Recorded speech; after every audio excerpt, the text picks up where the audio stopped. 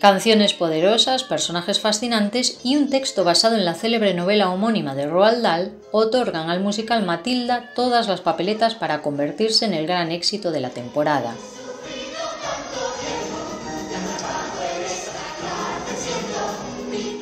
un proyecto en el que su director, David Serrano, ha trabajado dos años, pues se trata de un montaje muy complejo en el que cerca de 70 niños cantan, bailan y actúan. Algunos llegaron con seis años y sin apenas saber leer, y para todos ellos se hubo de montar una escuela para formarles. Siete niñas listas para interpretar a la protagonista y seis grupos de diez niños para acompañarla en sus aventuras.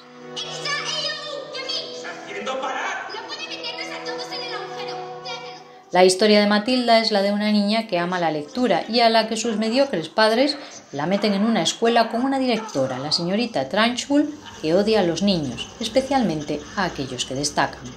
Serrano, conocido como el Midas de los musicales y que también ha dirigido Gris y Billy Elliot, considera que este musical está entre los cinco mejores de los últimos 30 años, un proyecto al que no pudo decir no cuando se lo ofrecieron.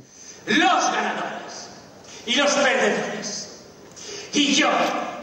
el libreto es de Dennis Kelly y las letras y la música de Tim Minchin.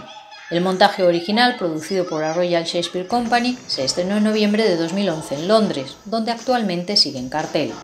La producción obtuvo siete premios Olivier, los Oscar del teatro londinense, entre ellos el de Mejor Musical. En Nueva York, donde se estrenó en 2013, obtuvo cinco premios Tony. Más de 10 millones de espectadores en todo el mundo han disfrutado de su magia que el 30 de septiembre llega al madrileño Teatro Alcalá.